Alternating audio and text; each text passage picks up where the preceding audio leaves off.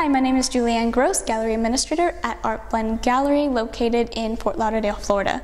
Today I want to introduce you to one of our artists, Gaston Locklear.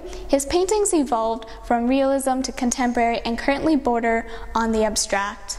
The ocean dominates his life and work with the subject matter of his paintings almost always pertaining to the sea in some shape or form. This painting, Rum and Coke, brings the same sense of peace one would find at the beach. I particularly love how the palm trees are almost casting a shadow as if the beach is just out of sight.